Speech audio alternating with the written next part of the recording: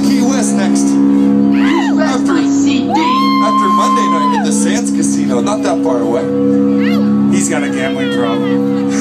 you get a lot, I get a pool.